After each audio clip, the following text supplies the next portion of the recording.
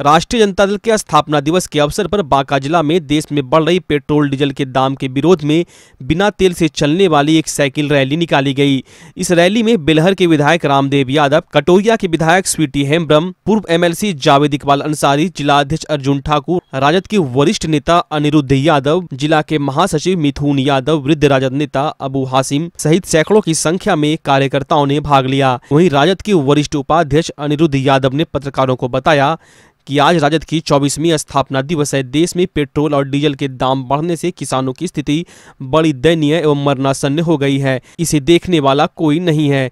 इस स्थिति को देखते हुए पूरे बिहार में राजद की ओर से साइकिल रैली निकाली गई। अनिरुद्ध यादव ने कहा कि देश की आर्थिक स्थिति कोविड 19 में खराब हो गई है। बिहार में हर जगह भ्रष्टाचार और लूटपाट बढ़ती जा रही है, इसे देखने वाला भी कोई नहीं है। इस प्रकार केंद्र और बिहार सरकार ने फैली भ्रष्टाचार की स्थिति को देखते हुए उनके विरुद्ध यह विशाल रैली पूरे बिहार में निकाली गई है। बिहार में ही नहीं, पूरे देश भर में डीजल और पेट्रोल का लगातार वृद्धि हो रही है। जो सरकार आज केंद्र में बैठी है और बिहार में जो सरकार बैठी है, डबल इंजन की सरकार, इन्होंने मनमोहन सिंह के समय कहा था कि हम डीजल और पेट्रोल को महँगा नहीं होने देंगे और आज लगातार बेतहासा डीजल और पेट्रोल की वृद्धि हो रही है। आप सभी लोग जानते हैं। और यह सरकार यहाँ के आम आवाम को गुमराह करने का काम किया और गुमराह करके यहाँ के जनता को ठगने का काम किया। यहाँ के जनता को महँगाई के ज्वाला में धकेलने का काम किया। इसलिए हम लोग महँगाई के खिलाफ, डीजल, पेट्रोल के खिलाफ, भ्रष्टाचार के खिलाफ, जो भ्रष्टाचारी सरकार है उसके खिलाफ, डबल इंजन सरकार के खिलाफ में आज हम लोग साइकिल रैली निकालकर बैलगाड़ी साइकिल निकालकर हम लोग चाहते हैं कि जनता को यह मैसेज दें। बेतहासा डीजल पेट्रोल रसोई गैस में वृद्धि हुई है और इसका जब तक कमी नहीं आ जाती है हम लोग आंदोलन करते रहेंगे। जबकि अंतर्राष्ट्रीय मार्केट में इसका दाम काफ़ी गिर गया दुनिया के हर देश में कच्चे तेल का दुनिया के हर देश में पेट्रोल और डीजल का दाम यहाँ से काफ़ी कम है। लेकिन यहाँ कहाँ पैसा जा रहा है बढ़ा करके केंद्र की सरकार बढ़ा रही है। साइकिल मार्च है निसंदेह ये साइकिल मार्च जब परेशान, पूरा देश परेशान है, पूरा बिहार परेशान है, ये झूठी सरकार, निकम्मी सरकार जो रोज प्राइस प्राइस हाइक कर रही है पेट्रोल और डीजल का, जिसकी वजह से पूरे बिहार में महँगाई बढ़ रहा है, पूरे बिहार अस्त व्यस्त हो गया है मतलब कि अर्थव्यवस्था चरम सीमा पर चली गई है, और यहाँ से सरकार लगी हुई है, कैसे झूठ बोला जाए, कैसे ट्रांसफ़र पोस्टिंग का बहाल किया जाए, कैसे ट्रांसफ़र का उद्योग खोला जाए, सरकार इसमें लगी, सरकार ट्रांसफ़र पोस्टिंग में उद्योग लगाई हुई है, और जन सूबे की राजस्व एवं भूमि सुधार मंत्री सह स्थानीय विधायक राम नारायण मंडल ने क्षेत्रीय दौरे में रविवार को पंजवाड़ा पहुँचे। वहाँ के ग्रामीणों की समस्याओं को सुना। इस दौरान उन्होंने कोरोना काल में ग्रामीणों को इसके बचाव हेतु सावधानी बरतने का सुझाव दिया। साथ ही भाजपा कार्यकर्ताओं ने बाज़ार में आए लोगों के बीच मास्क वितरण कर उन्हें मास्क पहनने को लेकर भी जागरूक किया। ग्रामीणों ने मंत्री श्री मंडल के समक्ष कई जन समस्या को रखा, जिसमें पंजवारा के बौसी फीडर की जगह बाराहाट फीडर से जोड़ने की मांग प्रमुख रही। साथ ही क्षेत्र में रुके कई विकास योजनाओं को गति प्रदान करने की मांग की, जिसको लेकर मंत्री राम नारायण मंडल ने संबोधित विभाग के अधिकारियों ने आवश्यक निर्देश दिया।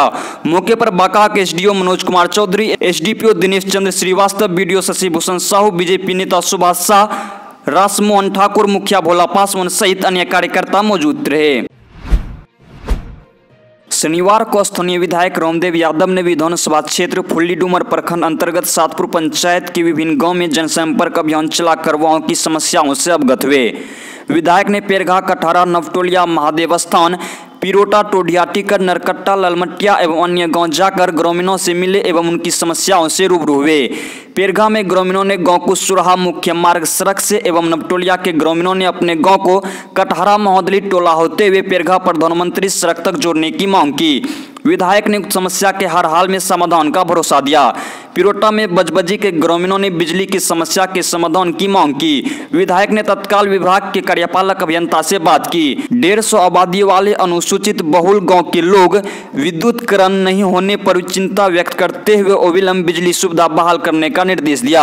उनके साथ प्रखंड अध्यक्ष परमानंद मंडल, महासचिव अमरेंद्र कुमार राय उप मुखिया बाबूलाल मरांडी, उपेंद्र यादव, अरुण यादव, अनिल राय, अवध किशोर महतो, भानु प्रताप महतो, डॉक्टर विद्यासागर, परशुराम सिंह, संजय यादव तालो बास्की, भोला बसेरा, मंटू सिंह, शैलेंद्र यादव, विवेकानंद मांझी, मनोज कुमार, जयद्रथ, बंटी राकेश, रामेश्वर, छब्बू यादव, गिरीश यादव, सिकंदर सिंह, राजा साथ साथ चल रहे थे।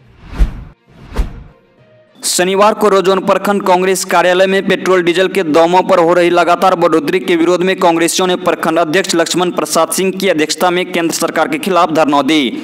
धरना के बाद कांग्रेसी नेता ने कांग्रेसी के बैनर झंडे तले पैदल चलते हुए रजौन प्रखंड मुख्यालय पहुंचकर नारेबाजी करते हुए नरेंद्र मोदी मुर्दाबाद।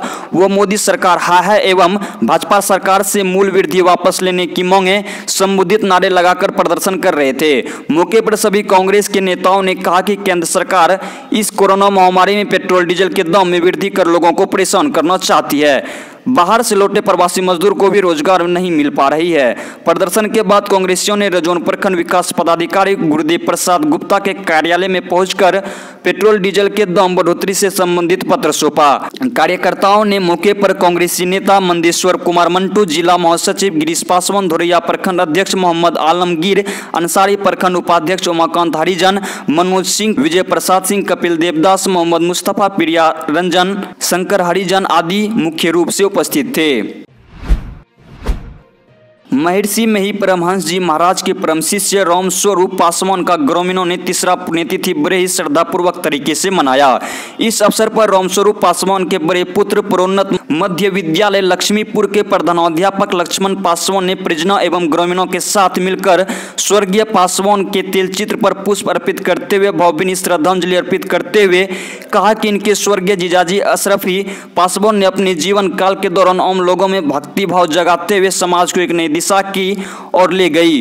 उसी तरह मेरे पिता स्वर्गीय रामस्वरूप पासवान भी समाज के लिए अनेक महत्वपूर्ण कार्य करते हुए भक्ति भावनाओं को एक नया स्वरूप दिया, जिसके नक्शे कदम पर चलते हुए मेरा पूरा परिवार समाज के लिए अनेकों महत्वपूर्ण कार्य करते हुए समाज को नई दिशा की ओर ले जाने के लिए प्रयत्नशील हैं। मौके पर उपस्थित ग्रामीणों ने दो मिनट का मौन धारण करते हुए मृत आत्मा की शांति के लिए ईश्वर से प्रार्थना किया। इस अवसर पर लक्ष्मण पासवान ने बताया कि समाज के लिए नंदलाल पट्टी में स्थित सत्संग भवन में पूरी श्रद्धा से सत्संग का आयोजन किया गया। इस मौके पर गौतम पासवान, ममता कुमारी, श्यामा देवी, गुरुदेव पासवान, पिंटू कुमार, राजेश कुमार, तरुण पासवान, चंदन पासवान समेत दर्जनों की संख्या में ग्रामीण उपस्थित थे। रजौन प्रखंड अंतर्गत नवादा बाज़ार स्थित बिसहरी क्रिकेट टूर्नामेंट बाबरचक गाँव के मैदान में चल रहे फाइनल मुकाबला रविवार को हरिपुर और स्टार अलेवन बाबरचक के बीच खेला गया। वहीं आईपीएल की तर्ज पर मैच के दौरान जैसे ही कोई छक्का या चौका लगता था, वैसे ही चीयर्स लीडर्स वहाँ आए दर्शकों का मनोरंजन कर रही थी, जिसे देखने के लिए भारी संख्या में दर्शक पहुँचे हुए थे। बाबरचक की टीम ने हरिपुर को रोमांचक मुकाबले में पाँच रनों से पराजित कर कप पर अपना कब्जा जमा लिया। मुख्य अतिथि भारतीय सबलोक पार्टी के युवा प्रकोष्ठ के राष्ट्रीय महासचिव रोशन सिंह राठौर और रजौन प्रखंड दक्षिणी के जिला परिषद सुमन पासवान के द्वारा विजेता स्टार इलेवन बाबरचक टीम को कप और इक्यावन सौ रूपए की राशि प्रदान की गई। वहीं उप विजेता हरिपुर की टीम को उप मुखिया राम प्रवेश कुमार के द्वारा कप और पच्चीस सौ रूपए की राशि प्रदान की गई। इससे पहले सुबह टॉस जीतकर हरिपुर की टीम ने स्टार इलेवन बाबरचक को बल्लेबाजी करने का न्योता दिया। बल्लेबाजी करने उतरी। बाबरचक की टीम ने बारह ओवर में ताबड़तोड़ बल्लेबाजी करते हुए 180 रन बनाकर हरिपुर टीम के सामने विशाल स्कोर खड़ा किया। जवाब में बल्लेबाजी करने उतरी हरिपुर की टीम ने दीपक कुमार के एक सौ पैंसठ रनों की ताबड़तोड़ बल्लेबाजी करते हुए पूरी टीम को 12 ओवर में पाँच विकेट पर 175 रन ही बना सकी। इस तरह से रोमांचक मुकाबले में बाबरचक टीम ने हरिपुर को पाँच रनों से हरा दिया। बांका अमरपुर मुख्य मार्ग पर जिला मुख्यालय से करीब छह किलोमीटर दूर सुमुखिया मोड़ कबूतरी चौक पर रविवार के दिन बेलगाम बालूदेर ट्रैक्टर ने एक शिक्षक को कुचल दिया। प्रत्यक्षदर्शियों के मुताबिक बांका की ओर से एक युवक अपनी बाइक पर सवार होकर इंग्लिश मोड़ की तरफ़ जा रहा था। सुमुखिया मोड़ के पास कबूतरी चौक को क्रॉस कर रहा था, तभी बालू लदे एक ट्रैक्टर की चपेट में वह आ गया, जिससे युवक ट्रैक्टर से कुचलकर गंभीर रूप से जख्मी हो गया। स्थानीय लोगों ने उसे सदर अस्पताल पहुँचाया, जहाँ पहुँचते पहुँचते उसने दम तोड़ दिया। प्राप्त जानकारी के अनुसार मृत युवक फुल्ली डुमर प्रखंड मुख्यालय स्थित यादव टोली का निवासी था। मृतक का नाम राम प्रवेश यादव था, उसकी उम्र करीब तीस वर्ष थी। वह श्रीलाल यादव का पुत्र था। सूत्रों ने बताया कि वह बांका में रहकर एक कोचिंग संस्थान में पढ़ाता था। रविवार होने की वजह से वह अपने घर जा रहा था। रास्ते में ही उसकी मौत हो गई। जिसके बाद आक्रोशित लोगों ने अविलंब अवैध बालू लदे वाहन पर रोक लगाने और मृतक के परिजनों को मुआवजा दिए जाने की मांग को लेकर अड़ गए।